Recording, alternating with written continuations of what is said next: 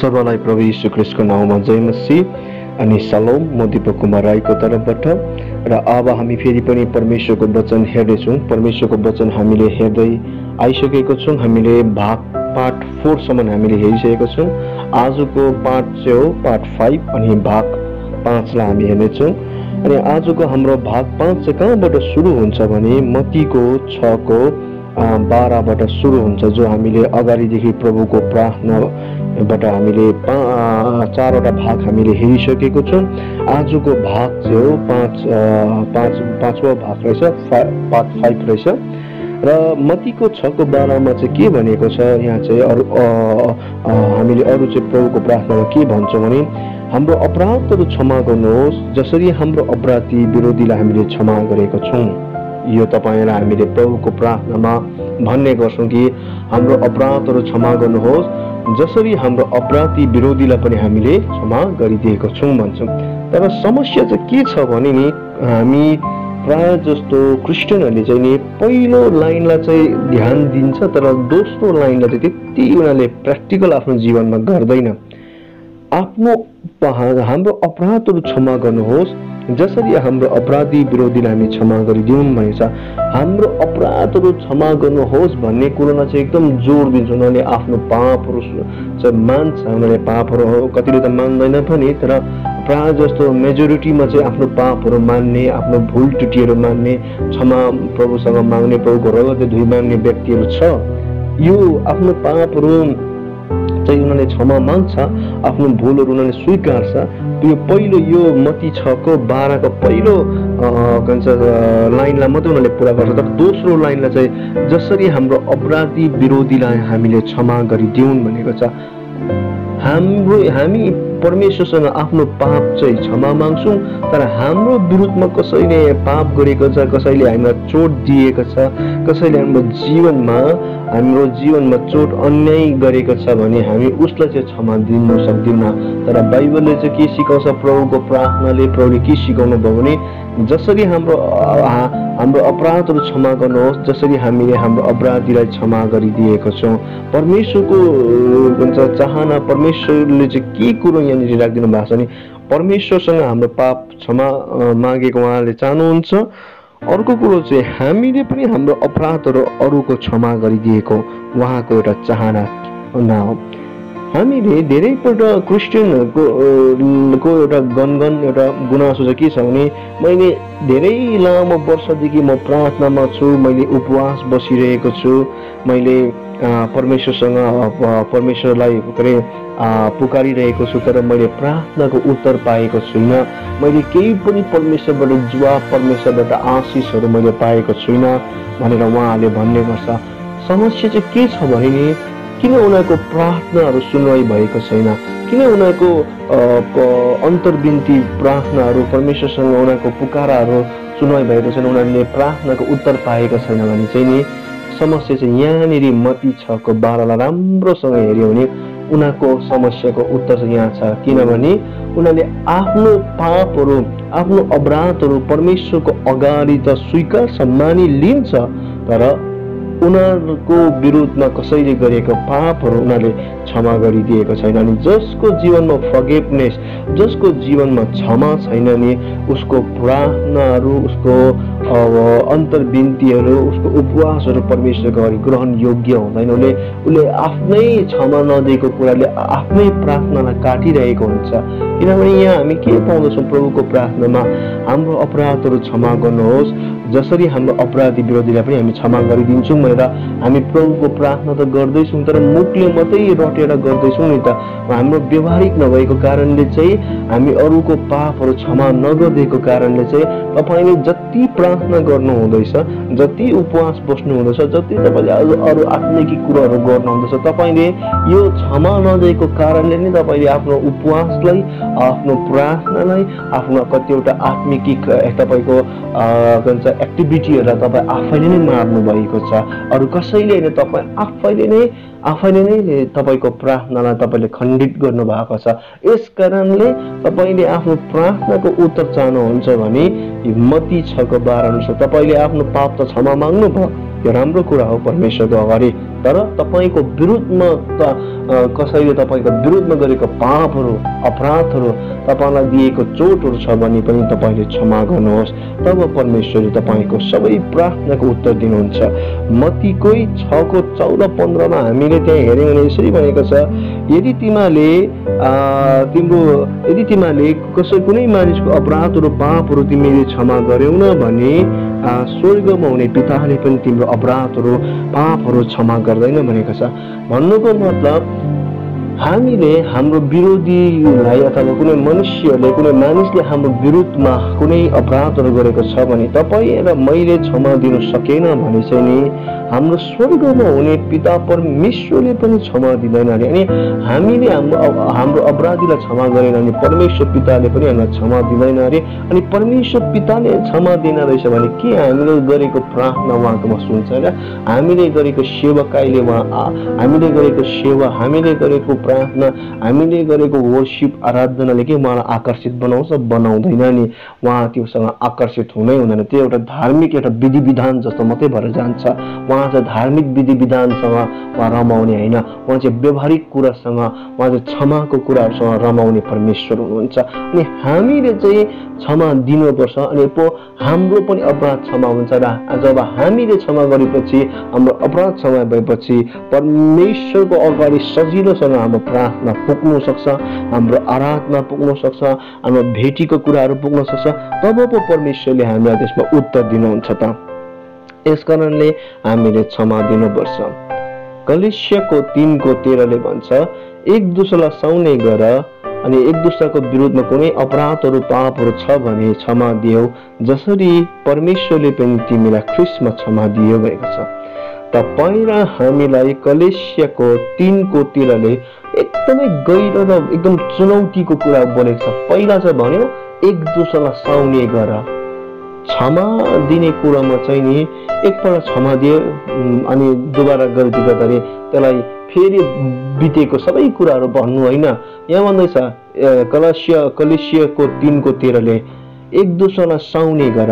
आज धेरै क्रिस्चियन परिवारभित्र धेरै क्रिस्चियन फ्यामिलीभित्र चाहिँ समस्या चाहिँ के छ भने नि हामी एक दुसरालाई साउन सकेकै छैन। परिवारमा मात्रै होइन मण्डलीमा पनि। अनि मण्डलीमा मात्र होइन एउटा समूहमा एउटा सेवकाईको बिचमा पनि समस्या किन आउँदछ? सेवकाईहरू किन दुई भाग भएर जान्छ? सेवकाईको टिमहरू किन छुटेर जान्छ? चर्चको कुराहरू किन धेरैपल्ट चर्चहरू विभाजन हुँदै डिभाइड हुँदै आउँछ? टुक्रा टुक्रा हुँदै चर्चहरू किन आज छुट्टिँदै छुट्टिँदै छुट्टिँदै किन चर्चहरू टुक्रा टुक्रा हुँदै आउँछ भने कलेसियाको तिनको तिरलाई हामीले व्यवहारिक गरेको छैन नि त। यहाँ कलेसिया तिनको तिरले के भन्छ भने एक दुसरालाई साउने गर साउनु पर्यो नि हामीले एक दुसरालाई किनभने नि हामी मानिसहरूमा नि हामी मानिस जातिमा नि नेगेटिभ कुरा पनि छ हामीसँग पोजिटिभ कुरा पनि छ। हामीमा खराबभन्दा खराब कुरा पनि होला र असलभन्दा असल कुरा पनि छ नि त। हामीले साउनु पर्यो नि एक दुसरालाई तब पो हामी परमेश्वरको राज्यमा सेवाकाई गर्न सक्छौँ त। हाम्रोमा कोही बेला नराम्रो कुरा पनि हुन्छ घटिकमी पनि हुन्छ दुर्बलताको कुराहरू कमजोरीको कुरा पनि हुन्छ कोही बेला शक्तिको कुराहरू पनि हुन्छ सामर्थ्यको कुराहरू पनि हुन्छ अनि कोही बेला असल काम लाग्दो कुरा पनि हुन्छ। हामीमा कोही बेला दुइटै कुरा हुन्छ तर हामीले एक दोस्रोलाई सहेर उसको असल कुरालाई चाहिँ जब हामीले लिनु खोज्छौँ नि जब त्यसलाई चाहिँ पक्रिनु थाल्छौँ नि त्यति बेला चाहिँ हाम्रो जीवनमा के हुन्छ भने नि हाम्रो परमेश्वरको राज्य पनि हामी ल्याउँछौँ र हामी एक दुसरासँग एकतामा प्रेममा मिलापमा हामी बस्न सक्छौँ तर हामी साउँदै साउनु एकजना प्रभुको एउटा व्यक्ति हुनुहुन्थ्यो उहाँले मलाई एउटा कुरा भन्नुहुन्थ्यो जहिले पनि यो दिपक भाइ तपाईँसँग म किन हिँड्छु तपाईँसँग म किन सेवाकाई गर्छु भने तपाईँको सेवाकाईले तपाईँको शिक्षाले मेरो जीवनमा धेरै असर परेको छ र मेरो तपाईँले गर्दाखेरि मेरो सेवाकाईहरू पनि बढेर गएको छ। तपाईँले गर्दाखेरि मैले धेरै रहस्यको कुराहरू बुझेर परमेश्वरको कतिवटा प्रकाशहरू ममा पनि आयो। यो चाहिँ तपाईँको असल कुरा तर एउटा कुरो तपाईँकोसँग अर्को कुरो चाहिँ के भने तपाईँ छिटो तपाईँ कोही बेला के भन्छ कोही बेला तपाईँ छिटो हामीलाई कराउनुहुन्छ। कोही बेला तपाईँ छिटो आज के भन्छ छुच्चा गर्नुहुन्छ सेवाकाईमा कोही बेला तपाईँ हामीलाई एकदमै बेसी कराउनुहुन्छ। बाइबल ठिक प्रकारले पढ सही प्रकारले निकालेर तपाईँले एकदम कराउनुहुन्छ तपाईँले कोही बेला बुझेन भने तपाईँले एकदमै कराउनुहुन्छ त्यो कुराहरू चाहिँ मैले सुहाउँदै आएको छु अनि सुहाउने पनि छु। किनभने त्यो कुरो चाहिँ मेरो लागि ठुलो कुरो होइन। तर तपाईँमा भएको जुन जुन एउटा प्रकाश छ अभिषेक छ जुन एउटा परमेश्वरको असल कुरो छ त्यो चाहिँ मैले पक्रिरहेको छु।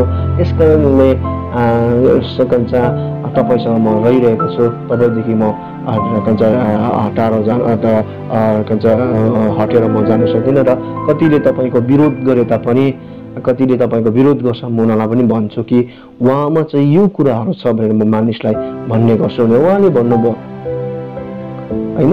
कति गहिरो कुरो उहाँले मलाई भन्नुभयो नि हो नि? हामीमा कमजोरी छ नि। ममा मात्र होइन तपाईँमा पनि कमजोरी छ। तपाईँको परिवारको सदस्यभित्र पनि कमजोरी होला। तपाईँको लिडरहरू पास्टरहरूकोमा कमजोरी होला।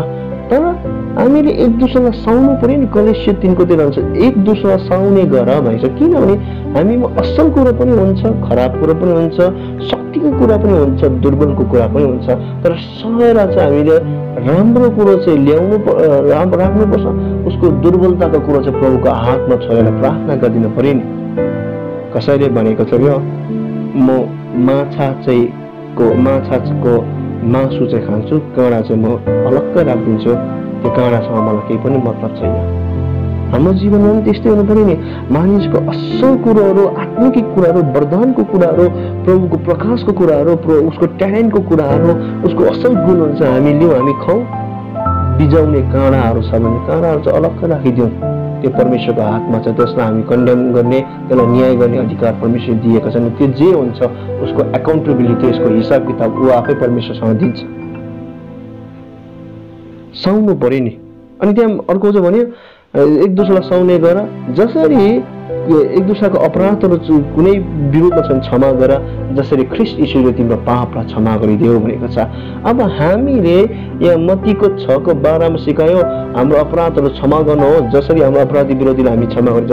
हामीले हाम्रो पहिला चाहिँ हाम्रो अपराधहरू सुन्छ क्षमा माग्दछौँ। हामीले अपराधहरू जब क्षमा माग्यौँ हामीले क्षमा पनि पायौँ। हामीले परमेश्वरकोबाट क्षमा पाउने अधिकार हामीले राख्न सक्छौँ। परमेश्वरबाट क्षमा पाउने हाम्रो त्यो आशा भरोसा हामी उहाँमा राख्न सक्छौँ भने नि जसरी परमेश्वरबाट क्षमा पाउनु हामीले अधिकार राख्छौँ भने नि हामीबाट पनि तपाईँ र मबाट पनि परमेश्वरले अरूको जीवनमा क्षमा दिएको अधिकार राखेको परमेश्वरले चाहनुहुन्छ अरूको जीवनमा पनि त्यो अधिकार उनले पनि त्यो अधिकार राखेको कि जसरी हामीले परमेश्वरबाट क्षमा पाएको अधिकार हामी राख्न सक्छौँ भने अरूले पनि त्यो राख्नु सक्नुपर्छ कि? हामीबाट उनीहरूले क्षमा पाउने अधिकार उनीहरूले राखेको हुनुपर्छ र राख्नै पर्छ। यो चाहिँ परमेश्वरको नियति हो मण्डलीको लागि। हामीले क्षमा दिनु पऱ्यो नि। किन क्षमा दिनुपर्छ? क्षमा दिएपछि पो वृद्धि भएर जान्छ त। प्रभुको महान दासी तपाईँले चिन्नु भएकै कुरा हो। कुनै नयाँ व्यक्ति होइन उहाँ उहाँको नाम चाहिँ जोइस मेयर। जोइस मेयरको तपाईँको आज विश्वमा तपाईँको एक सौवटा भन्दा बेसी भाषाहरूमा उहाँको किताबहरू छापिएको छ उहाँको पुस्तकहरू छापिएको छ उहाँको सेवकाईको त्यो टिभीको सेवकाई उहाँको संसारभरि तपाईँको इन्डियामा हेर्नुहोस् तपाईँको इन्डियामा तपाईँको यति बेसी भाषाहरू छ तपाईँको तमिल अरे तेलुगु अरे मलयालम अरे कन्नेटन अरे हिन्दी अरे उडियाई अरे के के के के भाषाहरू त्यस्तो सबै भाषामा उहाँको सेवकाई आउने गर्छ उहाँको भाषा उहाँको सबै उहाँको सेवकाई सबै त्यो भाषामा ट्रान्सलेसन भएर आउने गर्छ। उहाँको उहाँलाई नचिनेको उहाँको त्यो आत्मिक उहाँको मेटेरियलहरू उहाँको त्यो साधनहरू नपुगेको जग्गा धेरै कम्ती जग्गाहरूमा मात्रै होला। प्रायः जस्तो त सबै जग्गामा उहाँको कुराहरू पुगेको छ। किन तपाईँले उहाँको सिमाना बढाइदिनु भयो? किन उहाँलाई परमेश्वरले आज विश्वलाई छुने गरी उहाँलाई एउटा सेवाकाई किन जोइसमेरलाई दिनुभयो भन्दा नि एउटा कुरो जोइसमेरको चाहिँ मलाई साह्रो मनपर्छ हो कतिवटा उहाँको कमजोरी र त्यो प्रभुको हातमा छ त्योसँग मलाई केही भन्नु छैन। तर एउटा कुरो उहाँको शक्तिशाली कुरो चाहिँ मलाई मन परेको कुरो चाहिँ के हो भने नि उहाँ चाहिँ क्षमा दिएको व्यक्ति हो र क्षमा र प्रेममा जिउने एउटा परमेश्वरको छोरी हो।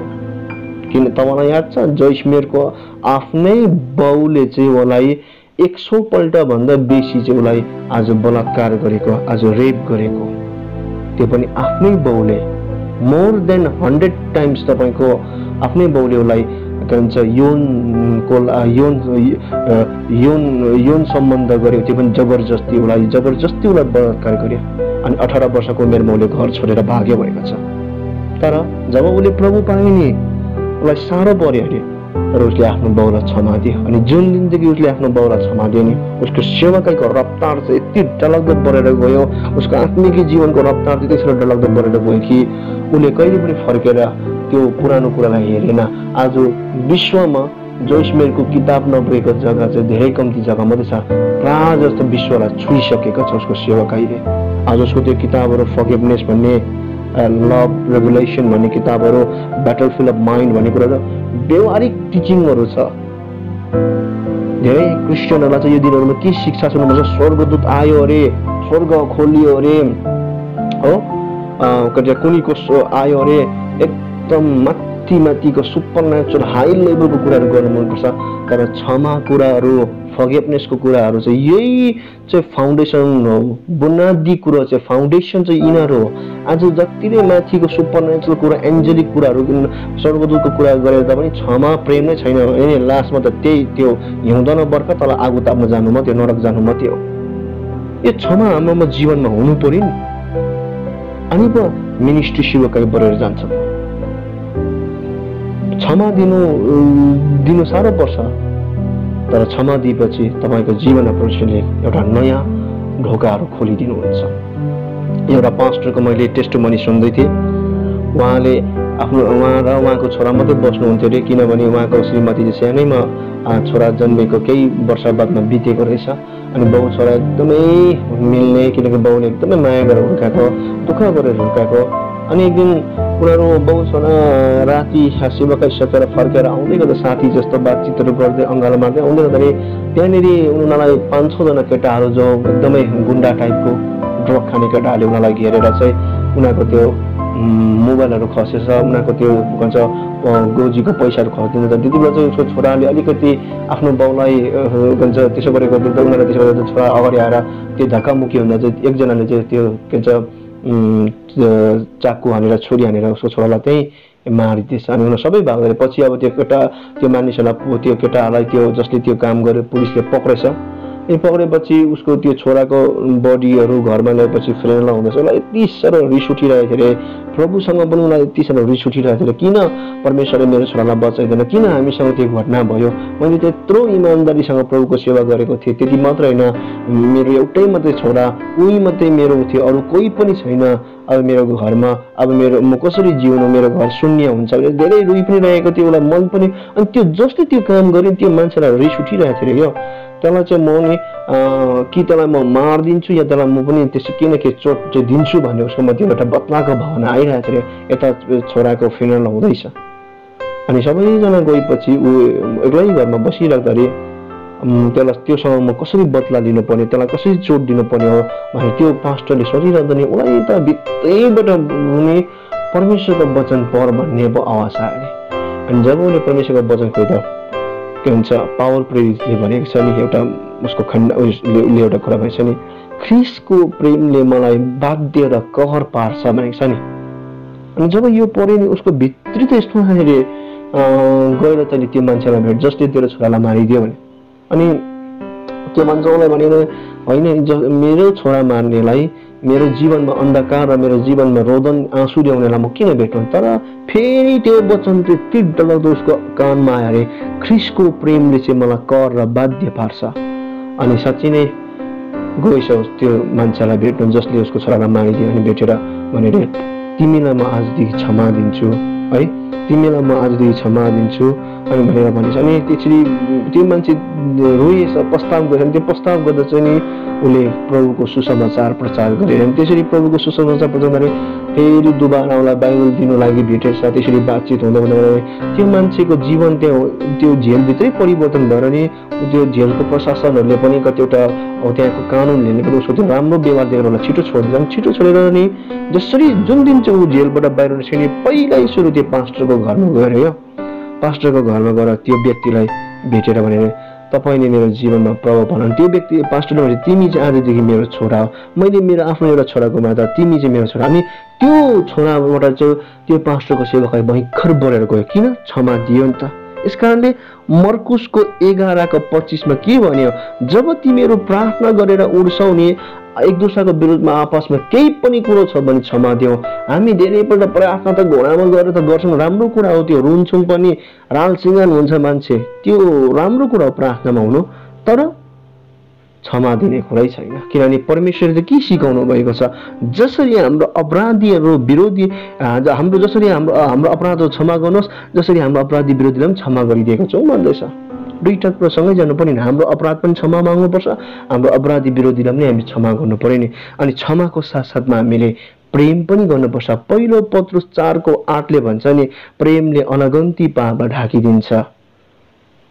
आज के भन्छ हितोपदेश दसको बाह्रले पनि भन्छ प्रेमले सबै भन्छ अपराधलाई ढाकिदिन्छ। हामीले क्षमा गरेपछि प्रेम पनि हुन्छ प्रेम गरेपछि उसको सबै कमजोरीलाई ढाकिदियो। घरिघरि ती कुरोबाट उसलाई के भन्छ दोस्याउने कुरा आउँदैन। यस कारणले आज हामीले मतीको छको बाह्र हाम्रो अपराधहरू क्षमा गर्नुहोस्। जसरी हाम्रो अपराधी विरोधीलाई हामीले क्षमा गरिदिउँ यो कुरो चाहिँ गहिरो कुरो छ। खालि प्रभुको प्रार्थना गर्दा चाहिँ तपाईँले गरिबस्नुहुन्थ्यो यो शब्द भनिबस्नुहुन्थ्यो होला। तर यसको अर्थ र यसको गहिराई र यसको लम्बाइ र यसको चौडाइ बुझिएको थिएन होला। तर आज तपाईँले बुझ्नुभयो अबदेखि तपाईँले आफ्नो पाप पनि क्षमा माग्नुहोस् आफ्नो अपराधीलाई पनि क्षमा गर्नुहोस्। आमेन।